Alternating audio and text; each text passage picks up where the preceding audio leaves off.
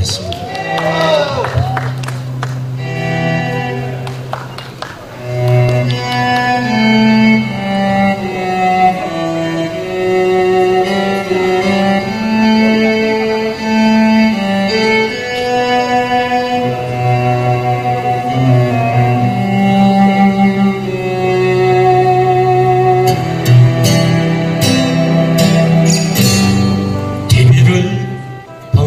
성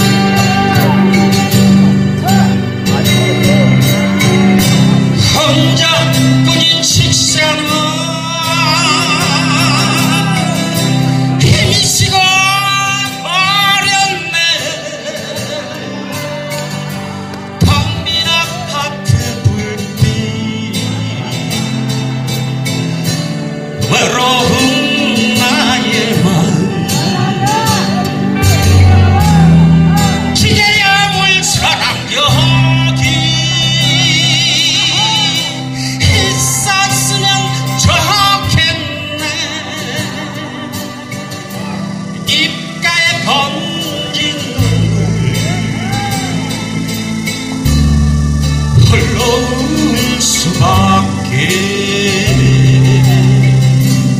예배를 보면서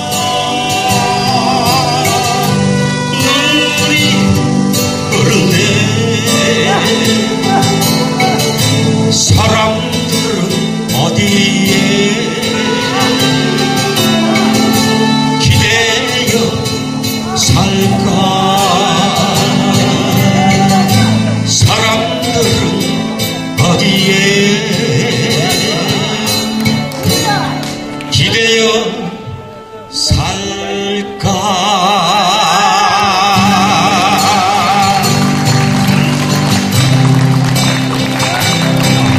즐거운 시간 되십시오. 고맙습니다. 자 우리 주